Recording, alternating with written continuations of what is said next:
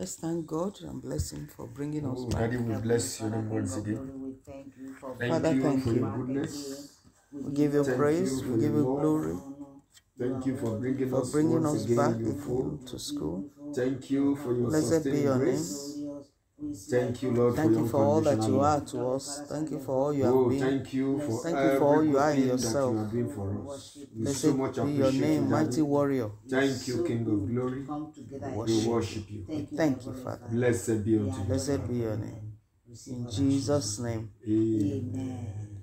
Father, thank you. We're back here Thank you, Lord. to Word War College mm. to come and learn of you again. Yes, What we need to do to come out and enjoy the full liberty, the full emancipation, emancipation that Jesus Christ purchased for us on the cross.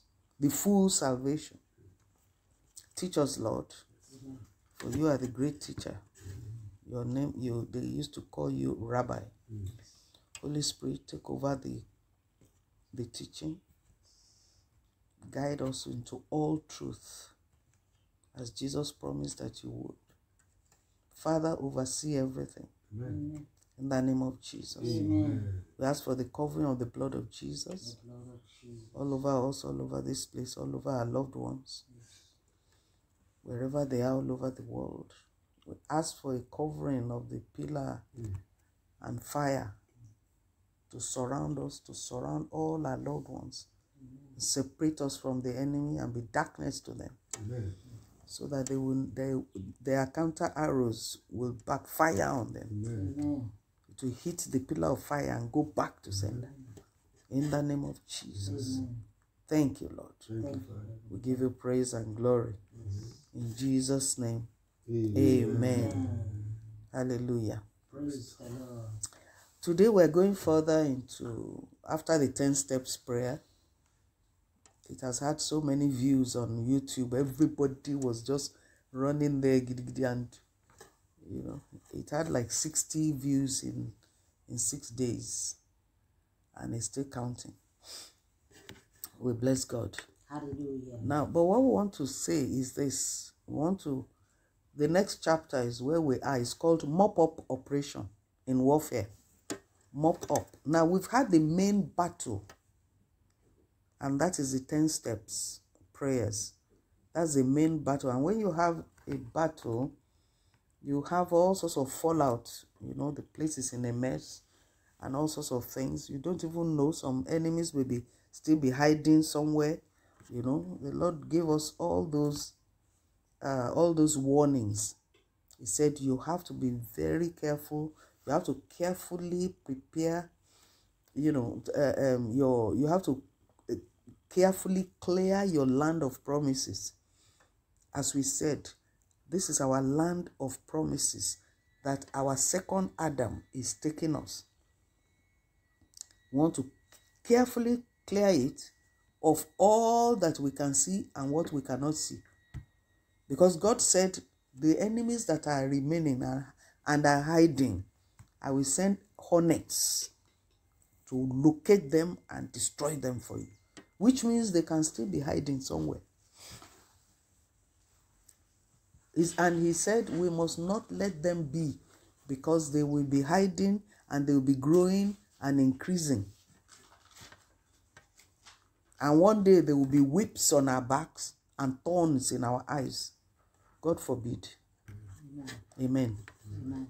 The devil is like a stray goat or a stray dog, you know. You should keep on coming to check to see whether you are serious or not.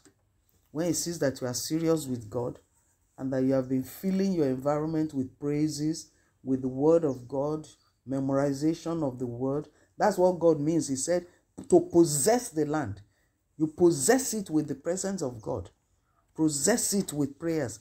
Possess it. You remember that your land is not a place, it's an environment you carry around with you where everything answers to you, everything works for you. You must possess it, you must strengthen it by continuing in prayer. It's not the end, this is just the beginning. Because life itself is lifelong war. Job said it. It's a man is born of a few days and yet is all full of battle. The important thing is that we Christians have the uh, all the facilities made available for us to overcome every battle. Amen. Amen. Hallelujah. Praise the Lord. Now, um, so we want to look at what next to do now that we have um, we have bulldozed. Uh, you know, we, we gave the we gave the analogy of let's say your grandfather um, left a land for you and you did not know, and by the time you got there, even with your CFO, there were different uh, people. One is frying akara in one corner another one the carpenter shed is there then another one uh, mechanic workshop is there and another one is doing vulcanizer in another ah and then you come and you're waving your CFO it makes no difference to them. Until the day you come with police and bulldozer your police is the angels your bulldozer is the word of god like the 10 steps we did then you bulldoze all of them out of the way bulldoze their structures, their altars, their pictures. That's what the Bible means by their altars, their pictures, their power base, the place where they're hiding, bulldoze it. Then you have to clear the land and make sure nothing is hiding under the rubble. And then you begin to build and to plant. Amen. Amen. Remember what they did to Jesus Christ? They pursued him and pursued him until they hung him on the cross, not knowing that that is what he exactly came to do. And the Bible says that when they have fulfilled all that was written of him, they hung him or they took him down from the tree and laid him in a sepulchre. Acts 13 29. Now, all these things, all these things um, need to be done for us to be able to, for us to be able to to do the reason for which Christ died for us and the reason for which God um, created us. Let's open Luke 1. There's a scripture there that I found one day and I was very excited. This was like three years ago when we were having the 70 days fasting. And I began to use it throughout the 70 days to pray. Luke 1 I think from 71. It was a it was a prophecy that was given by the father of John the Baptist. What did he say? That we should be saved from our enemies. Okay, no, um yes, that's the now this is the reason why Christ came. Yes, go on. That we should be saved from our enemies. Yes, And from the hand of all that hate us. yes, To perform the mercy promised to our fathers. mm-hmm, And to remember his holy covenant. yes, The oath which he swung to our father Abraham. yes, that he would grant unto us Mm-hmm. that we being delivered out of the hand of our enemies Mm-hmm. serve him without fear yes, in holiness and righteousness Mm-hmm. Yes. before him before all him. the days of our life all the days of our lives. Actually, there are just two verses I wanted there. 71. The reason why Christ came is that we might be delivered from the hands of our enemies and from the hands of all those that hate us. We're not talking about physical enemies now. We're talking about the devil. The devil is the enemy and his strong men. All the human beings they're using eh, they're just they're just pawns in his hands. Once we can get rid of the power behind them we will we will get rid of of every captivity. And the reason why we need to to to get rid of all that is so that we might serve him. We must serve god in holiness and in righteousness and without fear all the days of our lives. If not, we're just going to, you're, you're just going to uh, uh, be fumbling. And these are the things that will make somebody fall, even at the height of ministry. This is what is called deliverance, which some people say does not exist. You don't need to do deliverance. All you need to do is be born again. Hmm. Okay. oh. Now let's let's look at um let's look at what next. What next? What next? After we have um after we have got rid of after we have done the um 10 steps prayers you must be ready for more war amen Amen. because now you have you have sent them packing. Those people that have carpenter shed there and the carpenter the uh, and this one and all that somebody brought them there. Say look i found some land. Sometimes it's somebody that brought them there and say look there's some land lying fallow. It's my cousin's land. Go and be using it. Just give me something small. They will now go back and tell them that they have they have sent he has come he has sent us packing oh the strong men will go back to devil the devil and say she has set us packing from her land of promises. The devil will say what? Who opened her eyes? What happened? No no no no no no. There must be something else we will do. Now they will now start trying to see how we are they're going to uh, get back into the land whether by uh, seduction or by downright war. So they will go and gang up. They will go and find some more thugs from next the next gang next door. They will go and look for more uh, um, strong men. Jesus Christ said they will look for seven more wicked spirits. If they come and they see that you did not quickly erect erect a, a, a fence round your land and put a gate and lock it, they will go and look for more people to come and occupy it and if your fence is too weak they will pull it down and and go and occupy it. And by the time you come back there are too many. So don't put off your armor yet. This is what we are trying to say. Remember in egypt as recorded in egypt exodus 14 exodus 14 when the king of when pharaoh was when his the when God has judged all his gods. Exodus 14, 5 to 7. When God has ju- judged all his gods on land, in the waters, in the uh, uh, in the skies, in vegetation, and their highest God is their first son. He now said Moses can go. He said, Now go, go, go, go, go, just go. Okay, now what then happened? Exodus 14, 5 to 8. And it was told the king of Egypt that mm-hmm. the people fled, mm-hmm. and the heart of Pharaoh and his servants was turned against the people. Mm-hmm. And they said, Why have we done this? That we have let Israel go from serving us. Uh-huh. And he made ready his chariot uh-huh. and took his people with him. And he took 600 chosen chariots and all the chariots of, Of Egypt Egypt. Imagine. and captains over every one of them. Mm-hmm. And the Lord hardened the heart of Pharaoh, king of Egypt, mm-hmm. and he pursued after the children of Israel. Mm-hmm.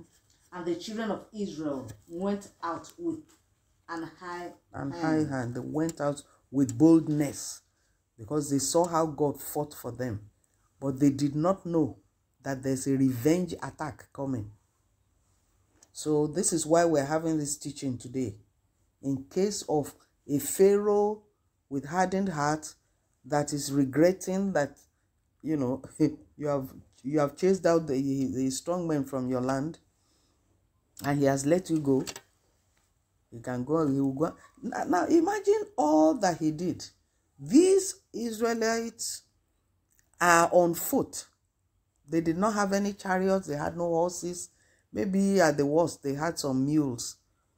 And yet he had brought he brought all the chosen chariots of Egypt, captains, 600 chosen and, and all the chariots of Egypt, and captains over every one of them to fight people that are not even armed. So this is why we're having this um this teaching today. It's called mop up operation. Amen. Amen. Now, um, I'm not just raising a false alarm. We have read it. We have read it now. What what happened to the children of Israel? And remember Job 14 1 that I'm always quoting man is born of a woman, but of few days and is full of trouble. The battles of life, the battles of life, we shall keep fighting till we die. Don't let anybody deceive you that a Christian life is an easy one. It is only easy for you to live the Christian life when you have learned how to war.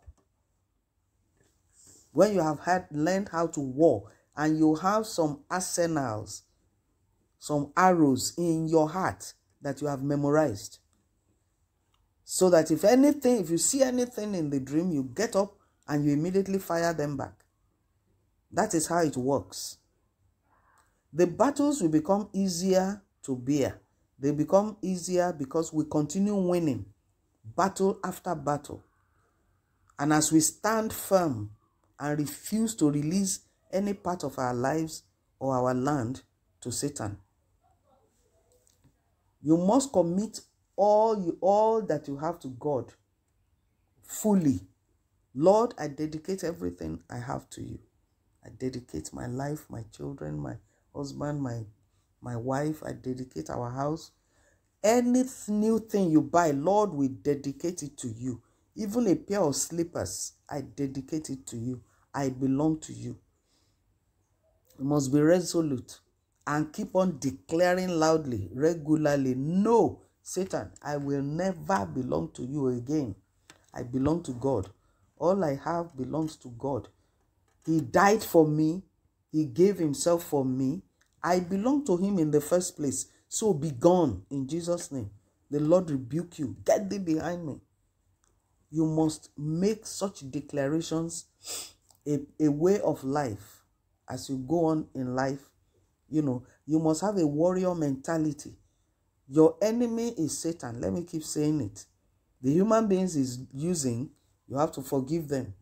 That does not mean that they must now become your best friend. You have to use wisdom with that. Amen. Amen. But you must know that Jesus Christ did not give up his life until it was time for him to die.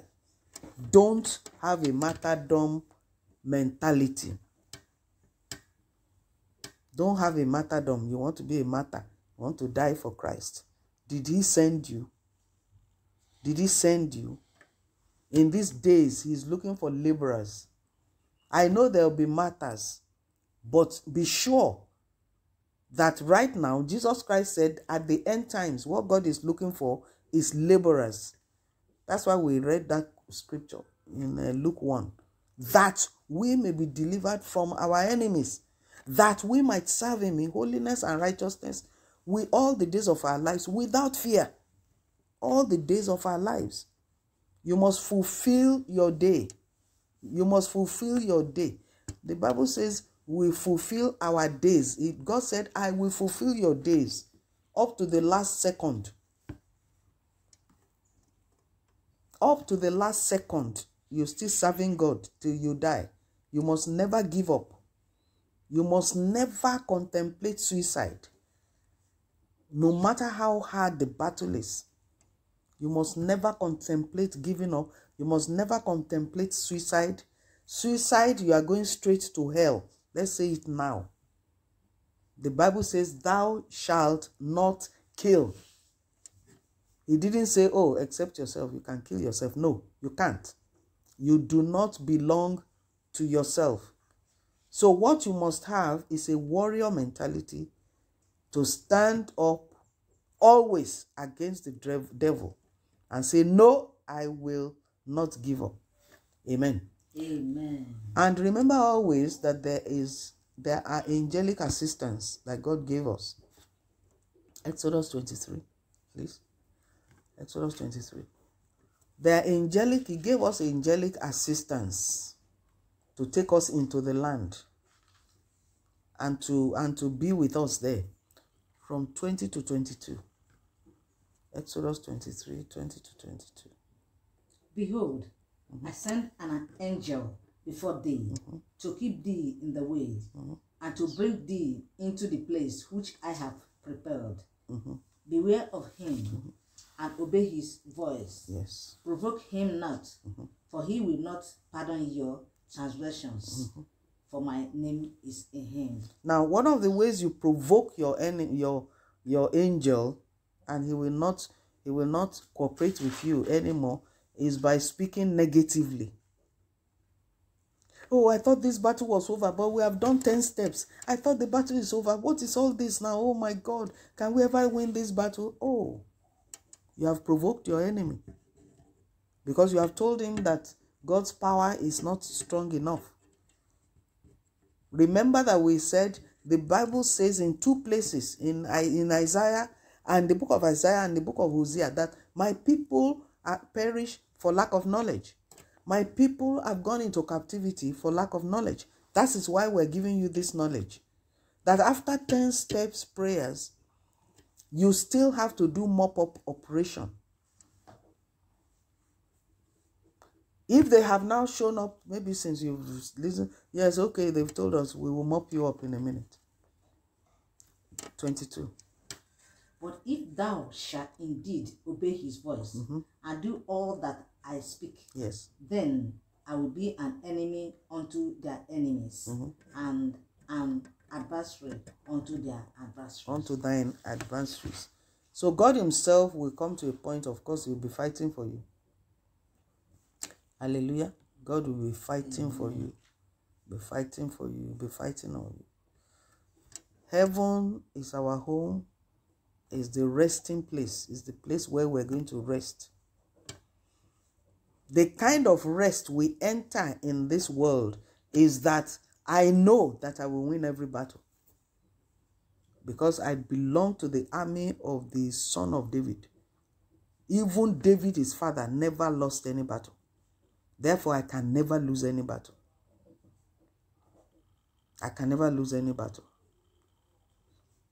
Because I use his name, because I belong to the army of Jehovah Nissi, the man of war. Hallelujah. Praise the Lord. We are here on earth to live, to learn how to live in holiness and righteousness, so that we can learn how to, we can qualify to abide with our Heavenly Father in heaven. There's no prince that is not trained how to become a king. No, no prince in this world. They are all trained how to behave like royalty and how to, because any of them can be a king at some point. Queen Elizabeth, that just passed last year, it was not her turn to be king. At all. It was not even her father's turn to be king. She would never have been queen. It was her father's older brother that was to be king. Then he abdicated. And so her father now became king. And her father died young. So every royalty is trained how to behave in a palace. Because they, they, in our own case, we are all going to be kings. Not because the king uh, is going to die. Our own king is an everlasting king. He is the king of kings. We are the kings. He made us priests and kings. So for us to qualify to live with our Heavenly Father in heaven, we are here training, being trained, being trained so that we will live holy and live godly and make heaven. Be sure that the battle for which you are battling, that we are battling, is battle against sin. All the devil is looking for is to make us fall. He's not just looking for, uh, okay, I will make sure they don't have children. It's, that's not all he's looking for. He's looking for, I will make sure they don't have children so that one day they will get tired and be lured to the devil to go and look for children from one baba somewhere in one corner somewhere and therefore that person will fall. And god will be hurt. Then you now have a child. Now listen. They themselves the same devil that is sitting in the womb or holding on to the fallopian tubes or holding on to the man's seed is the same one that you now go and consult. So all he will do is tell the demon that is sitting in the womb, okay, you can come out, but you can go and sit in her liver. So you can give her cancer of the liver. or you can possess the child. And then instead of bringing forth a godly seed, you now bring out a child of Belial that is actually going to be a, a, a, a pain, a pain to both parents. God forbid. God forbid. So we must our desire to make to live holy and make heaven is is the main reason for satanic strivings and attacks. And the apostle Paul warned us, Hebrew 12. He warned us in Hebrew 12. Let me read it. Hebrew 12, 1 to 4. He said, Wherefore, seeing we are also compassed about with so great a a, um, a cloud of witnesses. Now, where is this cloud of witnesses? He has listed them out in Hebrews 11. That is the cloud of witnesses are the cloud of those who through faith, faith in God, went through all these battles of life and did not fall. They made it. So, seeing that we have such a great cloud of witnesses looking at us, urging us on, he said, Let us lay aside every weight and the sin which does so easily beset us, and let us run with patience the race that is set before us, looking unto Jesus, the author and finisher of our faith, who for the joy that was set before him endured the cross, despising the shame, and is set down at the right hand of the throne of God. 3. For consider him that endured such contradiction of sinners against himself. He was, he was being contradicted by sinners all through his life, striving with him. Yet, he said, Consider him, lest ye be wearied and faint in your minds. If Jesus Christ went through it, we will go through it. Verse 4 Ye have not yet resisted unto blood, striving against sin. Amen. Amen. Hallelujah. Praise the Lord. Now, so what are the other things that may still show up? There are many things, there are many challenges of life that you need the Word of God. You need to know which Word of God to use to fight them. So, dealing with common challenges of life with the Word of God, that is the mop up operation. How do you mop up? The first one is dealing with liars, slanderers, backbiters, conspirators, and so on. People use their mouth to chew you, chew your reputation, talk behind you, slander you. See how they will talk to people that should people that should do you good. They'll go behind you, go and tell them not to do it, and so on. Now, this this is this seems to be very petty, but it is a very common problem. It's a very common tool that the devil uses against Christians. Being lied against, being the target of backbiting, slander, conspiracy.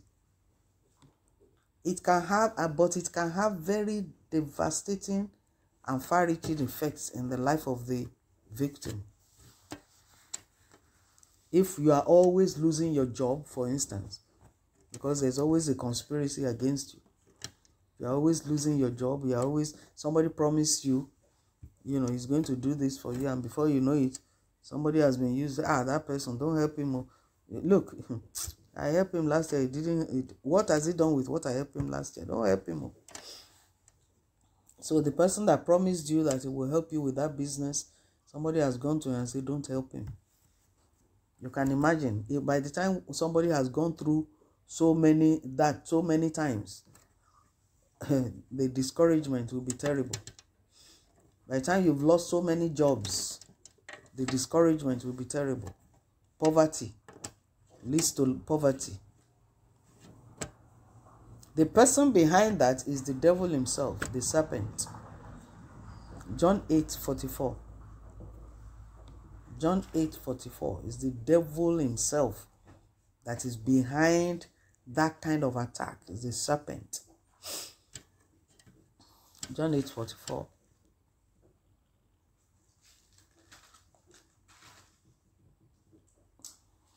Ye are of, ye are of your father the devil, Okay. and the loss of your father ye will do. Mm-hmm. She was a murderer from the beginning, Yes. And abode not in the truth, Yes. because there is no truth in him. Okay. When he speaks a- a lie, Mm-hmm. he speaketh of his own, That means he's speaking his native language. Another translation said it. So when he's speaking a lie, he's speaking his native language. Yes? for he is a liar And the, and the father of it. amen. Amen. So there you have it. It's a powerful weapon. Let me give you an example. It is one of the reasons where Christians become alienated from their families when they become born again and begin to want to walk with God.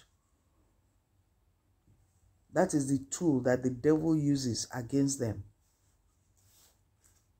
I'll give you an example. There's a sister and her nuclear family became alienated from her entire extended family when they became born again one by one. Before then, oh, they all loved her. She was a blessing to them. Everybody flock around her, come and eat, come and take things from her house. But when she began to born again, became born again, began to live for God, and began to show to and God began to show her the secrets of the kind of foundation that she comes from, and she began to pray. Trouble started, and the devil began to fight her back. That's another thing. When you are doing warfare, the idols of your father's house will raise up everybody else to fight you. Raise them up to fight you. So don't fight them, just calm down. Just continuously face the idol and and the strong men and when you win them you win the family you win your family back so now uh slander was a simple she became a, a- an ordained minister slander was the simple strategy that the devil used against her stirred up everybody against her. Nobody was listening to her. The slander worked, everybody ran away. Until over 10 years later, something else, like 20 years later, things began to happen in the family. What she has been telling them was happening, was going, was happening, that was due to some foundational issues began to happen. Three people died in the family in, within eight months. Ah, then they came and looked for her and said, "Ah, uh, Sister, that prayer that uh, you said we should now pray, that prayer you said we should now pray, let us pray it. You will win in the end, beloved. You just continue facing the. They now started coming to her. Oh, Auntie, I had a terrible dream and uh, a, demonic, a, a prophetic word came from our ancestry that uh, this thing this problem is from eh, and you know you, you you know the spiritual map of the family what do you think tell us you will now become their consultant amen. You just face you just face what god.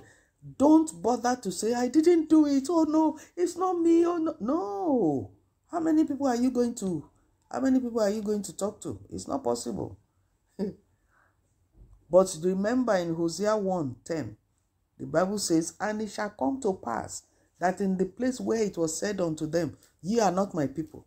There it shall be said unto them you are the sons of the living god just keep your eyes on that just keep your eyes on that even in ezekiel 29 21 ezekiel 29 1 21 he said and in that day i will cause the horn of the house of israel to bud forth and i will give thee the opening of the mouth in the midst of them and they shall know that I am the Lord.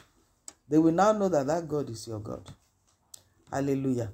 So, meanwhile, what you need to do, what you need to do is to know which word of God to use to fight. Because if they talk too much about you, it makes you sick. Your body will be aching. Because the Bible says such wicked words are arrows, poisoned arrows. In fact, in the dream, if you see somebody that's been backbited, you will see the body, the back will be full of scars. The back of the dress will be torn and the skin will be full of scars. You know that, oh, they backbited this person. And imagine the such pains, such such wounds will have you have pains from them. Psalm 11 2. Psalm 11 2. It says, For lo, the wicked bend their bow, they make ready their arrow upon the string, that they may privily shoot at the upright at heart. So, what you are looking at is a series of arrows, arrows, arrows. Don't take it lightly. Amen. Amen. Psalm 35. Psalm 35. I'm just reading some of the lamentations of some psalmists that have gone through it. 11, 15, and 16. 11, 15, and 16. Do you have it? 11. False witnesses did rise up. Mhm.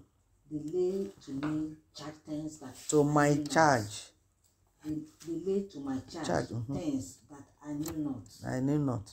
They rewarded me Uh-huh. even for good Uh-huh. to the spoiling of my soul. Yes. But as for me, Mm-hmm. when they were sick, my clothing was sackcloth. Yes. I humbled my soul with fasting, Yes. and my prayer returned in, returned into me, my mind. Yes. Own boy, my To my own bosom. own bosom. Yes. Jump to 15. But in my adversity, Uh-huh. they rejoice and gather themselves together. Yea, the objects gathered themselves, The objects gather themselves together against me. and Yes. I knew It's not. Mm-hmm. They did tear me and cease not. Uh-huh. with hypocritical mockers and feast. fists. Mm-hmm.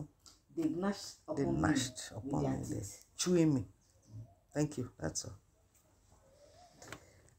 And they will refuse to help you. These are people you have helped before. They will refuse to help you. They will refuse to help you. These are your own family, your own blood. They will refuse to help you. So don't be surprised. It has happened to others before. Before. Zephaniah 3 3. Zephaniah 3 3. I'll read it. He said, Her princes within her are roaring lions, her judges are evening wolves. They gnaw not at the bones till morning. They chew the bones and break your bones. And they are your own people within her. He said, Her princes within her are just judges, evening wolves. Hallelujah. So don't take conspir- co-conspir- conspirators lightly. They can make you lose what cannot be recovered. And it can stagnate your destiny for years. It's so strange. I was going to teach this today, and somebody has sent a text in the night and said, Oh, Mama, I finally found a job. and uh, But somebody's already sitting down there, and uh, she's going to uh, to make sure that I don't get the job. And I said, Don't worry. I sent her. She's sitting down doing the job now. She, she texts me by morning, said, Mommy, and it worked, it worked. it worked. I'm sitting in my office, I'm doing the work right now. Oh, don't take such. Zephaniah 3 3. Zephaniah 3 3. And don't forget, the Bible says in Proverbs 22 1 that a good name is rather to be chosen than great riches. They, they will divert your glorious destinies from grace to grass. Make sure that they drive all your helpers away.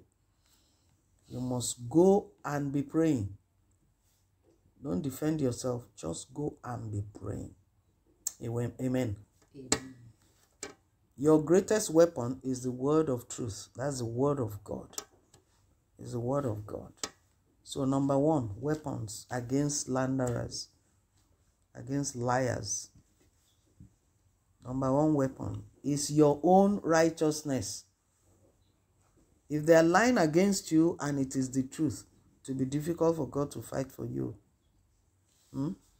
Your own righteousness. Now, the belt of truth is an integral part of the full armor of God. The belt of truth is the one that holds the, the breastplate of righteousness in front and at the back, it holds them together. And it's on that belt that you hang your dagger, you hang your arrows, and this and that. You see, your belt, your belt of truth. So the first thing is that you yourself, the first thing is that you yourself must make sure that you don't tell lies. If not, that weapon they're using against you is going to land. It's going to work. It's going to work. Psalm 1, 1 and 5. Psalm 1, verses 1 and 5.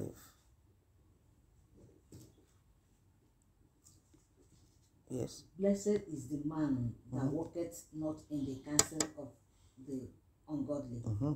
nor standeth in the ways of sinners, mm-hmm. nor seated in the seat of the scornful.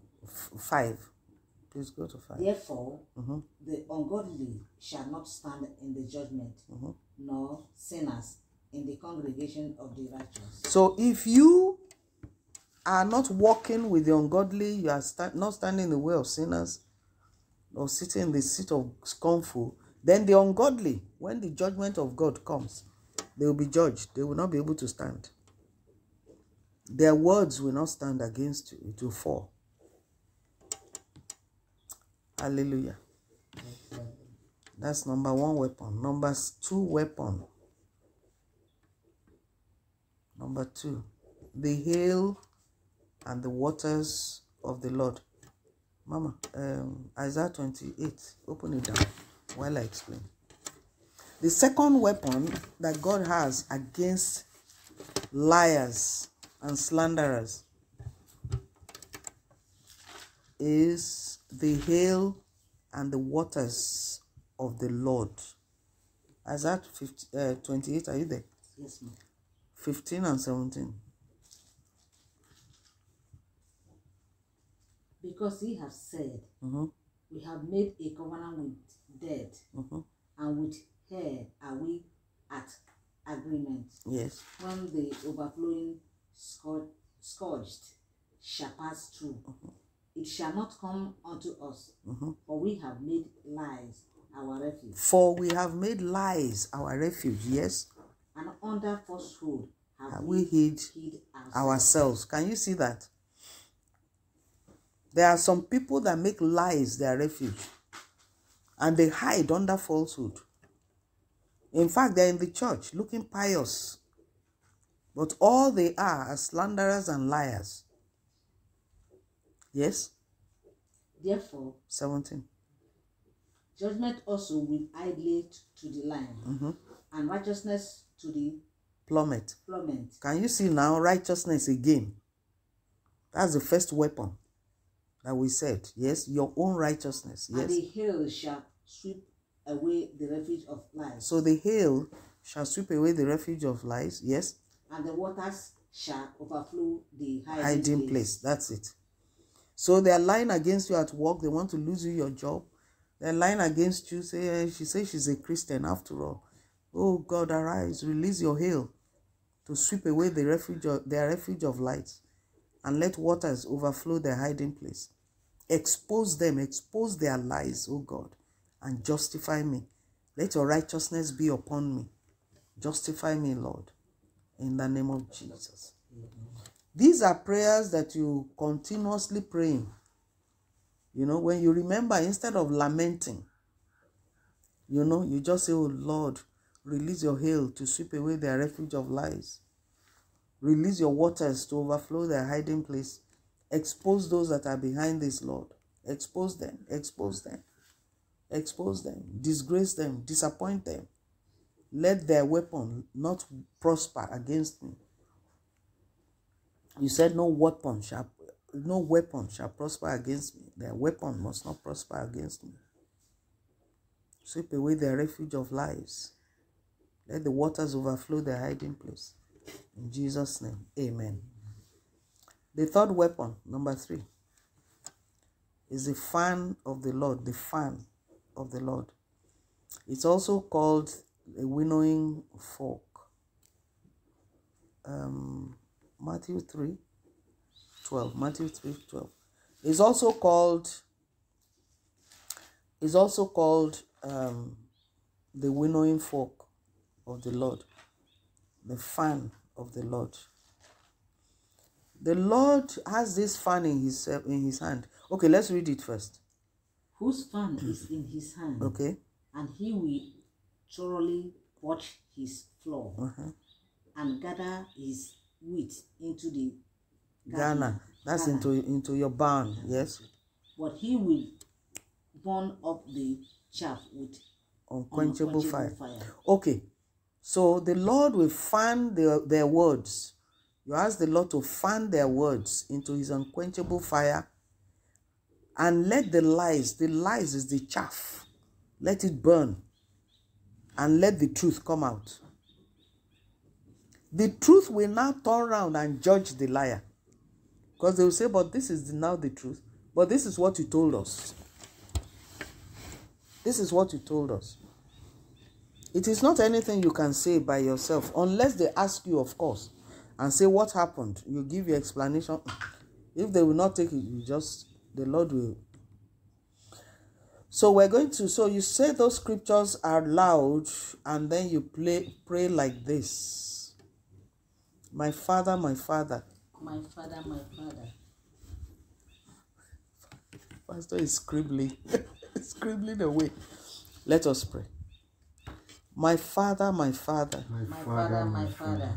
Behold the conspiracy of lies Behold the conspiracy of lies and falsehood and falsehood that has been raised against me that has been raised against me and my family. And and my family. In any way that I have opened the door In any way I have opened the door. to the father of to lies the father of lies. to afflict me this way, to afflict me this way. I repent, Lord, I repent, Lord, and ask you to forgive me. And ask you to forgive me. in the name of Jesus. in the name of Jesus. Let your blood wash me clean. Let your blood wash me clean. Of all unrighteousness. of all unrighteousness. I ask you to come to my rescue. I ask you to come to my rescue. and let all the lies spoken against me and let all the lies spoken against me be me exposed be exposed. And let my righteousness and let my righteousness which you put upon me which you put upon me be clearly seen be clearly seen and revealed. and revealed. In the name of Jesus, in the name of Jesus. I ask, Lord, I ask, Lord, that you release your hail that you release your hail and waters and waters to sweep away to sweep away the refuge of lies, the refuge of lies, the refuge of the liars and conspirators, the refuge of the liars and conspirators, and let their hiding place and let their hiding place be washed away washed away according to your word according to your word in Isaiah 28. in Isaiah 28. Let them be exposed and disgraced, and let them be exposed and be disgraced, and let me not be ashamed, and let me not be ashamed. for I have put my trust in you. For I have put my trust in you. Lord, Lord, let their words let their be fanned be found into your judgment fire, into your judgment fire, and let the lies be consumed, and let the lies be consumed, and let the truth be clearly revealed. and let the truth be clearly revealed. For you are the truth. For you are the truth. In Jesus' name. In Jesus' name. Amen. Amen. Number two set of people to deal with are thieves and robbers. Now we're now talking about physical thieves that actually steal from you. Those the first lots, they're stealing your reputation, your good name. But these are thieves. Robbers come into your house and steal, or someone is stealing from you at work. Somebody is stealing, you know. You take the matter to prayer before God and to the police if need be, if need be. But you first take it before God. Amen. Amen. Now the weapon of war, Zechariah 5, Mama, we're going to read. The weapon of war against the thief and the robber is the flying scroll of the Lord. And I'll give you a very clear example of how it worked one day Weapon of war against against thieves, armed robbers, thieves. The flying scroll of the Lord. Zechariah 5 1 to 4. Please read. Then I turned mm-hmm. And lifted up my eyes and looked, and behold, a flying roll. And he said unto me, What seest thou? And I answered, I say, I see a flying roll. The length thereof is twenty cubits, and the breadth thereof ten cubits. Then said he unto me, This is the cause that goeth forth over the face of the whole earth. Yes. For everyone is still Everyone that. for every one that stealeth shall be cut up as on this side, according to it. And every one that sweareth shall be cut off as on that side, according to it. I will bring it forth, said the Lord of hosts, and it shall enter into the house of the thief, and into the house of him that sweareth falsely by my, My name name. Yes. and it shall remain in the midst of his house, and shall consume it with the timber thereof and the stones thereof. So it's very dangerous to steal from children of God if they have this secret. You are working for a Christian and you are stealing from his business. You are stealing, taking it to your house. The flying scroll come with curses. It's like a scroll. It's like a long, like a kitchen roll or toilet roll, long one. It has curses written on this side against those that steal, and on the other side, curses written against those that swear falsely by the name of God. Because they will always lie and say, No, I didn't steal. I don't know anything about I know nothing about it. The, I swear, God is my witness. There are also those that swear falsely by the name of God and claim they can do, they are doing miracles, which of course they never do. God is a miracle worker and He knows when to bring His miracles forward. So those that steal and those that swear falsely by the name of the Lord, it's an amazing weapon. It's like five, 15 feet wide and 30 feet long. Curses are released like arrows to enter the house of the thief and begin to consume that house where they, are stolen property, consume it. Now, let me give you an example. I don't know how it works, but I I had a friend.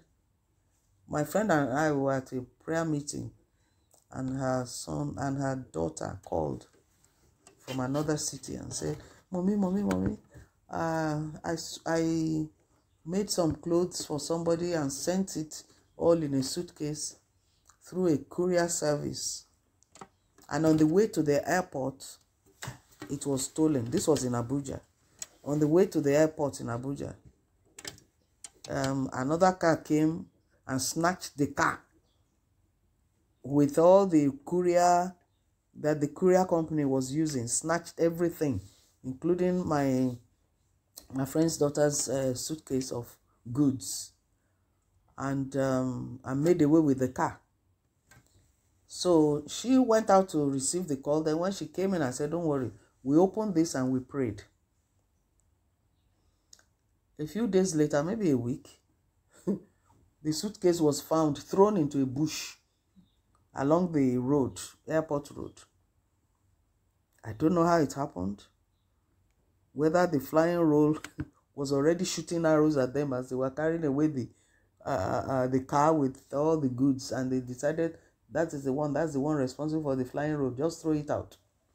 They threw it out. How nobody else saw it and stole it away, we don't know. But somehow the person that saw it took it to the courier house and gave it to them, and nothing was missing. Nothing was missing. We don't know what happened to other goods or to the car that was stolen. But the one that we prayed, God restored that suitcase and it was able to get to the person that he, she was sending it to. in Lagos in time. That's just an example I wanted to give you. So it works. Just ask the Lord, Lord, release your flying scroll into the house of the person stealing, to the house of the person telling all these lies. Some of them that sit on television or on YouTube telling lies, say God said, God said. We should pray some of these prayers against them. Anyway, hallelujah. Now, dealing with satanic horns. Number three, weapon. Ho- number four, sorry. Dealing with satanic horns. What does a horn do? Zechariah, let's go to Zechariah. Sorry. Okay, what does a horn do? I'm coming. Let's see. Now, when we're studying the, about the strong men, the dragon in particular, you remember we read about, uh, we talked about the dragon, how he uses his horns to scatter people at the edge of breakthroughs. That's what the dragon uses his horn to do. Prevents them from being lifted up in life. It's a, it's a spirit of delay. It causes delay. It causes abortion of breakthroughs. Now, First Corinthians 16 9, I'll read it. You hold on to that. Where are you, Zechariah? Okay, okay. He said, St. Paul said, For a great and effectual door is open to me, and there are many adversaries. First Corinthians 16 9. That's the work of horns. Horns. In Ezekiel 29 3, Pharaoh is referred to as a dragon who believes that everything belongs to him and therefore he can hold people ransom and hold them in bondage as long as he pleases. You see? That's a horn. It became a horn. The, the, the Pharaoh that knew not Joseph became a horn that did not want to release the children of Israel from captivity. Now, horns also have, they also boast of their work. Daniel 7, Daniel 7.25. Daniel 7 25. It talks about the little horn. That's the Antichrist.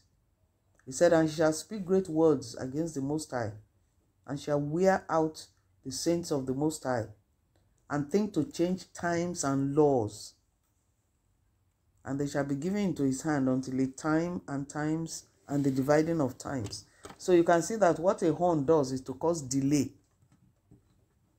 Delay. He wants to change the timing of God. He wants to change the timetable of God where he will do what that he has set, the set time. He wants to change the set time. And he wants to change the laws. If a, if we, we explained this um, in the teaching about the Antichrist. That God has a law that governs everything that he will do. But the, the Antichrist want to change that law. It's called a horn. Now, what's the weapon against horns? Zechariah 1. Sorry. Zechariah 1. What's the weapon against horns? It's in Zechariah 1 18 to 21. They are the four carpenters of God. Four carpenters of God. The weapons against horns are four carpenters of God. These are special angels. And they are spoken on in, of in Zechariah 1 18 to 21. Then lifted I up my eyes mm-hmm. and saw, and behold, four horns. Mm-hmm. And I said unto the angel that talked with me, What be this? And he answered me, These are the horns which have scattered Judah, Mm-hmm. Israel, and Jerusalem. Mm-hmm. And the Lord showed me four carpenters. Mm-hmm. Then said I, What come this to do? And he spake, saying, These are the horns which have scattered Judah, so that no man did lift, lift up his head. But these are come to fret them, to cast out the horns of the Gentiles, mm-hmm. which lifted up their horns over the land of Judah to scatter it. Amen. Amen. So whenever you find that your breakthroughs are always being aborted, even babies, women that have repeated abortions, they have to be praying against horns. Some of them will even tell you that they had a they had a dream that a cow came and hit the stomach with their with the horn. So we ask the Lord, Lord, send your carpenters, send your carpenters to come and fray and chisel and saw and cut off and hammer and cast these horns out of our way in the name of Jesus. Very simple. When we're teaching about angels, that teaching is on YouTube too. Teaching about angels, we talked about about this, these carpenter angels, and other jobs that uh, carpenters do. I use this if I'm in the traffic. I need I have a plane to catch and there's suddenly a traffic I, I, I deal with horns. Lord, release your carpenters to fray and cast out those horns, causing delay in traffic. Out of my way. Or you are trying to send an important email and it keeps getting stuck. Or sometimes there's a prolonged power outage which is very common here in Nigeria, you deal with horns, especially where our your water is hydroelectricity. You see, you are dealing with the horns of the dragon. So sometimes I will say, Lord, we need electricity. Release your carpenters to fray and cast out the horns, preventing electricity from entering our house. In Jesus' name. Hallelujah. Hallelujah. Now, dealing with spells, enchantments, astral attacks. That's number five. Dealing with spells, enchantments, and astral attacks. When you're under a spell, you feel woozy, or you just find yourself making mistakes. You see, they know there's something you need to do. You feel confused. Or maybe in the dream somebody comes to lay hands on you or to chant over you or make pronouncements over your life. Either when you are awake or a dream is trying to put a spell on you. You must be very careful about people who lay hands on you and don't say oh you only touch my arm no especially with women a man should not just be putting his hands on you anyhow. Step back. Or somebody wants to talk to you and is moving so close, a stranger. Step back. Or if you don't know that person, you have to be very, very careful. You may start feeling disorientated or you may feel very ill for no reason.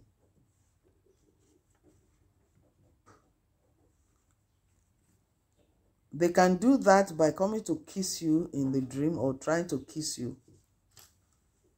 Don't say, oh, but it's my friend. Nobody is supposed to kiss you in the dream. It's a kiss of death, like the one that Judas gave to the Lord Jesus, so that he can hand him over to his assassins. And they just want to use it to put a spell on you, so that you follow them to the gates of death. Enchantment is what Delilah used on Samson. When he placed his, her head, his head on her lap. A woman said to you, Show me where your strength is. Show me where the source of your strength is, that you may be afflicted. That, at my, that I might afflict you and you put your head on her lap. You see, there's a problem there. It means to begin with, he has done something to his intellect. Hmm? Such women have incantations written on their laps. and on their skirts. I didn't say so, it's in the Bible. Lamentations 1. A woman, a man, a woman like Delilah says to a man, a man of God, or you, a Christian, show me where the, your strength lies, the source of your strength lies, because I want to afflict you. I want to afflict you. Show me where your, you, you know. And many times she has, you, he has told her a lie, and she had called the Philistines to come. But because it was a lie, he didn't lose his strength. And after all that, he still placed his head on her lap, which means she has she has put a spell on him. She has enchanted him and taken away his intellect. And the Bible says that such women have incantations written on their skirts and on their laps. So men beware. And sometimes they put enchantment in the food that they give you. Don't eat anyhow, anywhere. As a Christian, you are not supposed to eat anywhere, anyhow. we were taught in Bible school, you don't eat outside. And it's in the Bible. Jeremiah, I think Jeremiah, he said, Thou shalt not go to the house of, of uh, feasting and sit down and be eating. When we were in Bible school, I was surprised. We went out with the rector and we were so happy. He said, Ah, yes. Uh, he went to um, a, a, a, a woman evangelist was being made a bishop. So we all went with him and we knew, oh God, we're going to eat, oh, the best of foods. We were so shocked. After finishing, after he has finished, uh, they've laid out on her and, and anointed her and all that. He jumped into his car and left. we all had to jump excuse me we all had to jump into the car and, and follow him and but of course what they would do is they will send your food in coolers you know but those are the kind of places that people get enchanted you're sitting at tables in a place like that you don't even know who is the one sitting next door next to you and all that what does it say in lamentations 1 9 verse 9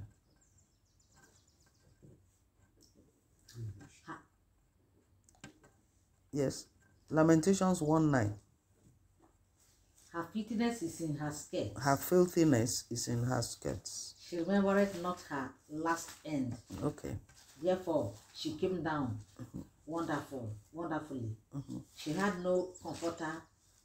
Oh, It's Lord. okay. That what I wanted was that there is a filthiness in the skirts.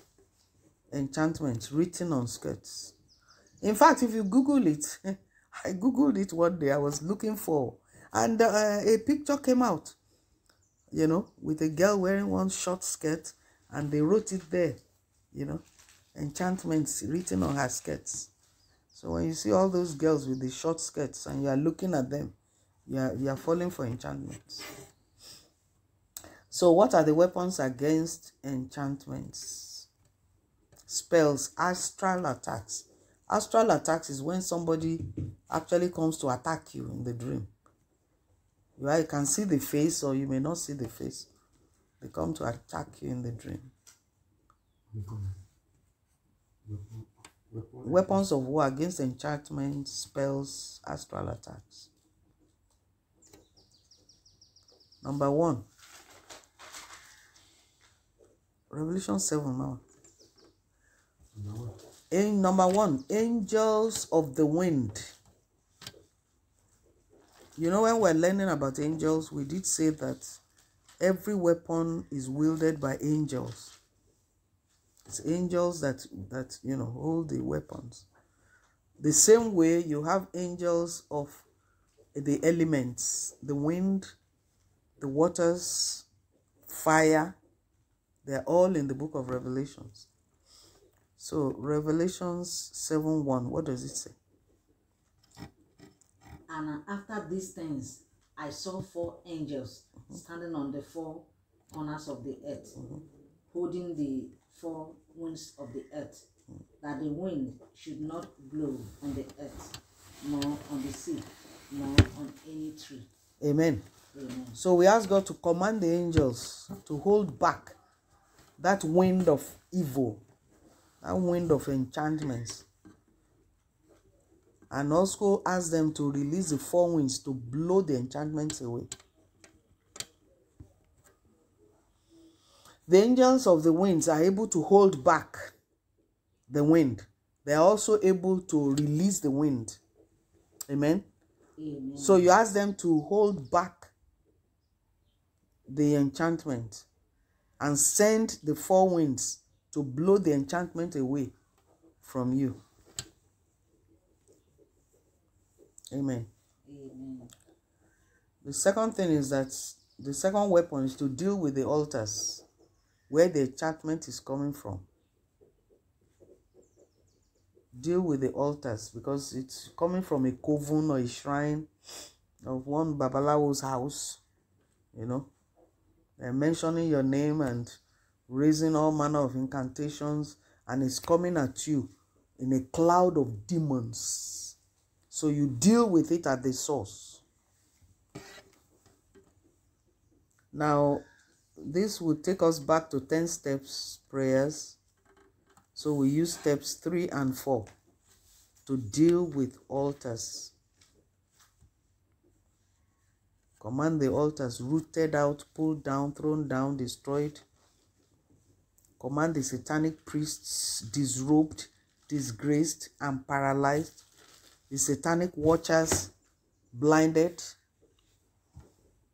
And their, and their uh, um, monitoring devices frustrated and, dis- and dismantled.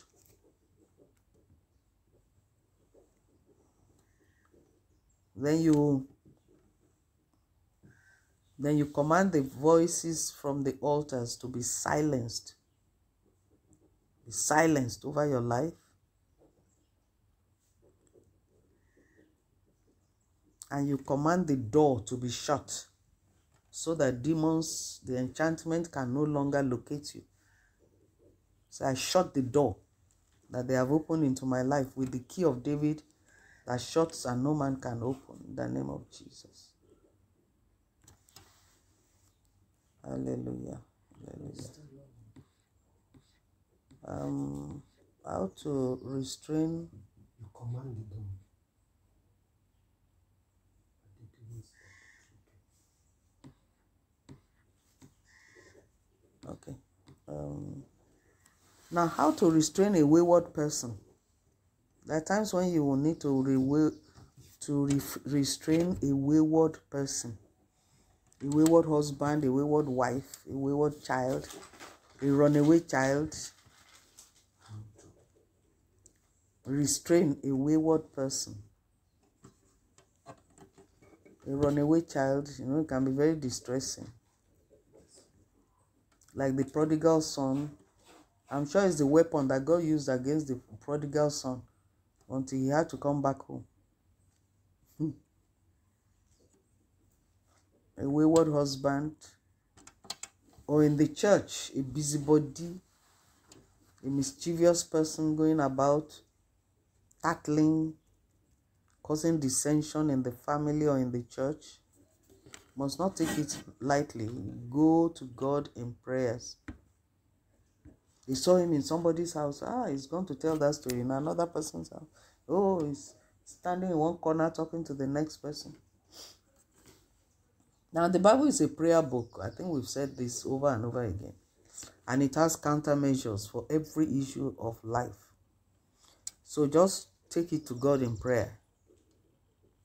Take it to God in prayer. They can you the a busybody can destroy a church can cause serious dissension in the church. First timothy what does it say? First timothy first timothy 5 13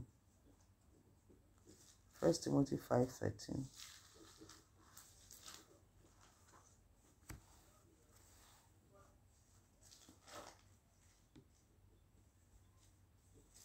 okay let me read it. I read. you've got it okay. Yes. And will draw their and with all. And with all that learn to be and withal they learn they learn to be idle. Uh-huh. wandering about from house to house. And not only idle but Atlas, tactless also. And busybodies. gossips, speaking things which they ought not. Which they ought not. So when you have such a trouble in the church or in the family, you need to restrain that person. And there's a very neat, there's a very neat weapon against such a person. Hosea 2.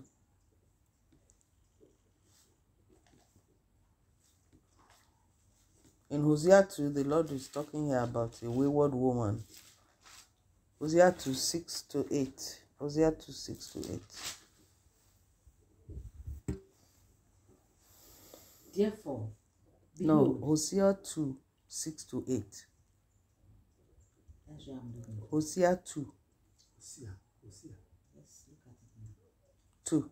Okay? 6 to 8. Therefore, behold, I will hedge up the way with horn, with thorns, Mhm.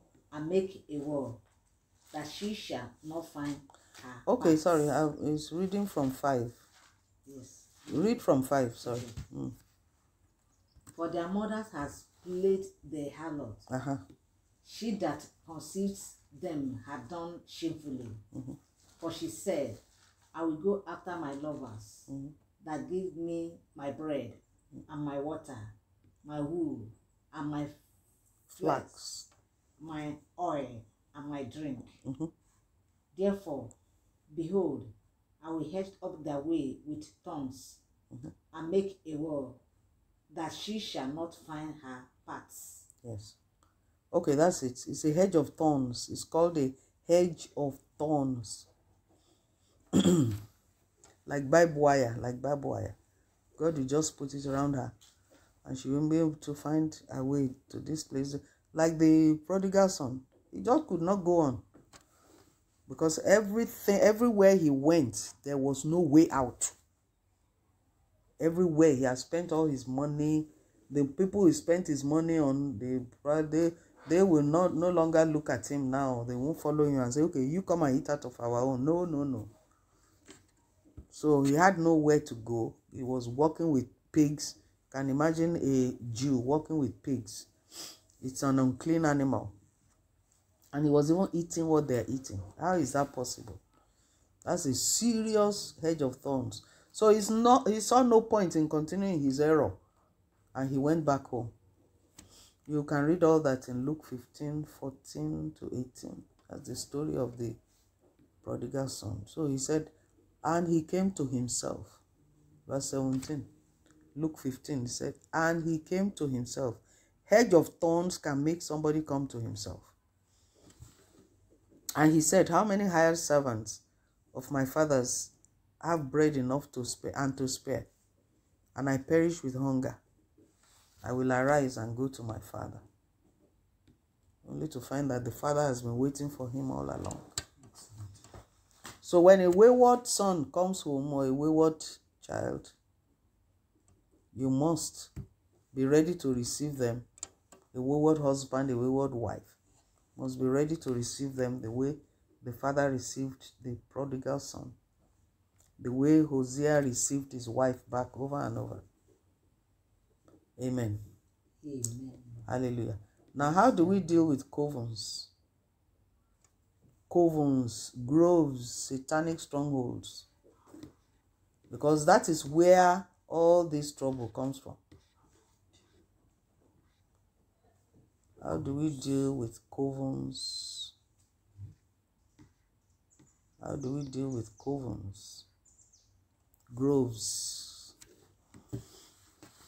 A grove is just a coven in the forest and other satanic strongholds. That is actually where the you remember that's where the that's where the altar is. The altar is the place that gives um that gives um that gives the the doorway that the devil comes in and out, his demons come in and out. They channel them from second heaven, from hell. Then they start sending them to their targets. Now you need to pull down strongholds also if you have uh, if you are going on a mission field or you are preparing, preparing for an evangelical crusade or you've just moved into an environment, you have to pull down the strongholds that are there. Before you go there, you go and do a prophetic, a prayer walk and pull down strongholds. Or else, if you move there before you have dealt with the principalities and powers, they, they will not let you rest. This will deal, when you deal with this, it will deal with the strong man that is ruling over that environment. Because that is what forms a stronghold.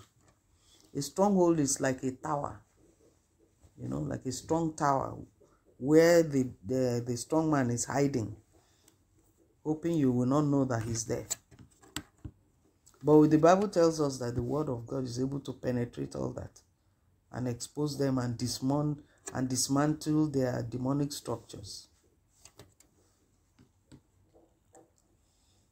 Or maybe you are experiencing tough resistance in the work of God or at work.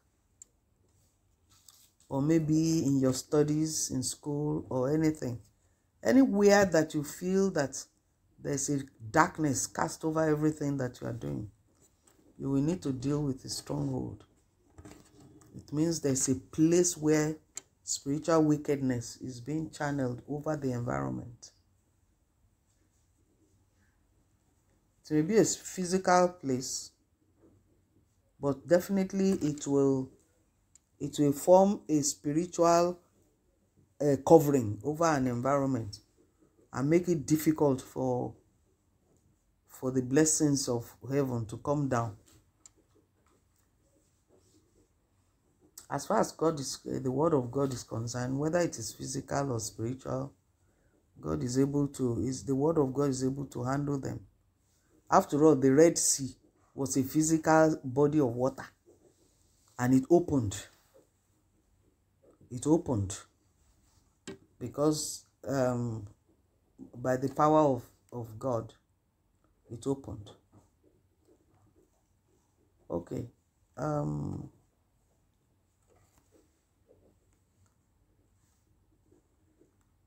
one of the first one of the things we do is to ask God to walk through the land. Lord, you are taking me to go and live in such and such a place. Please walk through that place and make it safe for me. Of course, when God is walking through, He's a great king. He walks with his hosts of angels. And they will begin to, to do some work for you.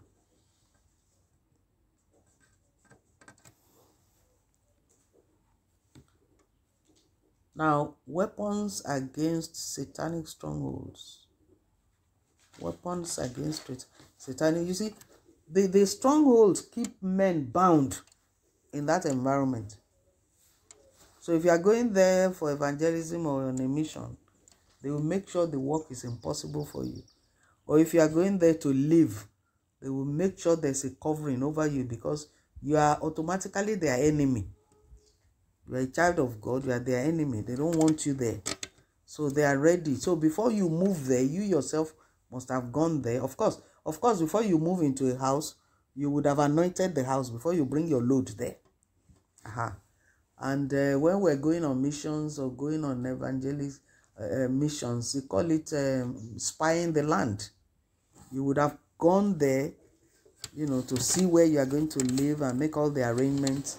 And you see, you do not just make physical envir- uh, uh, arrangements, you must make spiritual environment as, as well.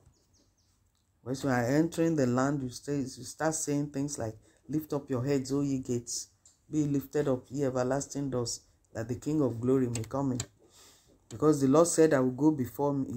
Because the Lord said, He will go before me, He will go with me, be my rear guard.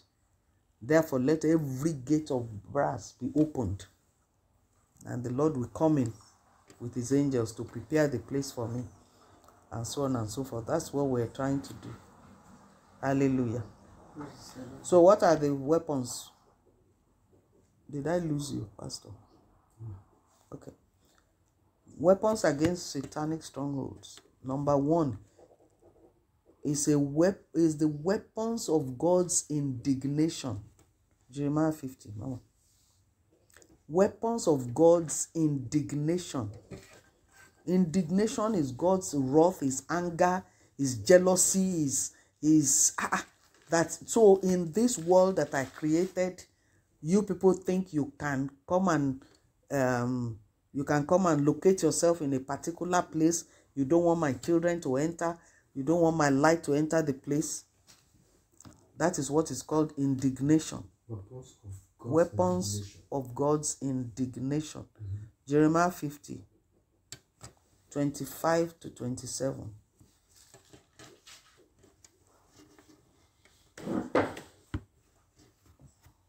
Yes, The Lord has opened his armor, armory. armory and has brought forth the weapons of the of his indignation. Uh-huh.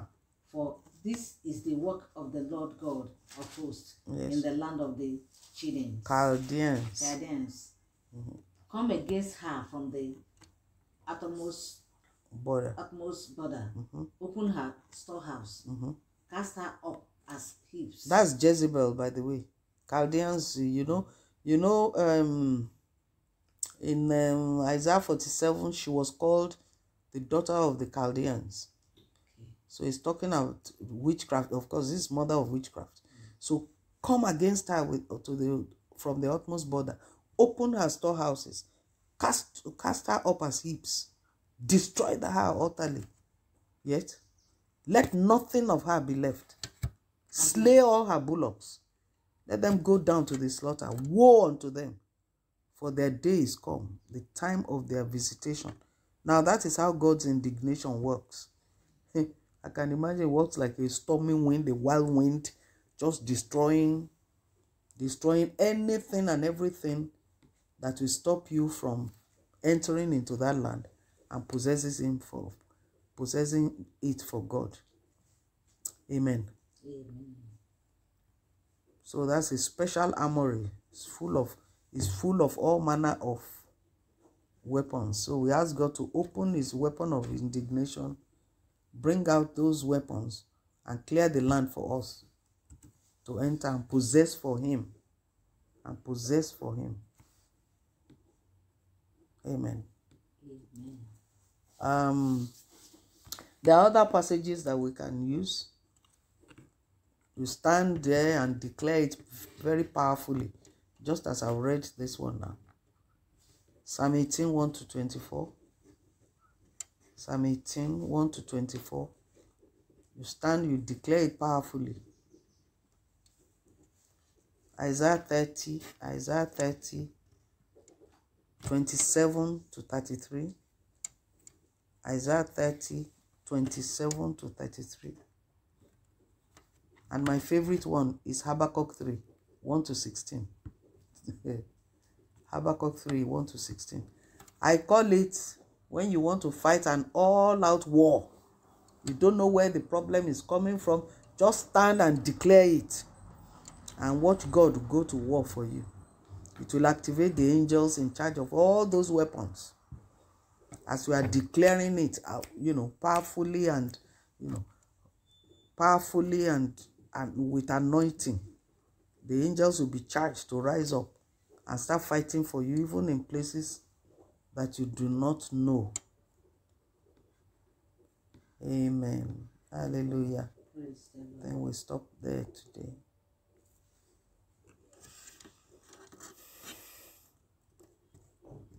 Father, we thank you. We bless you for all that you have taught us today.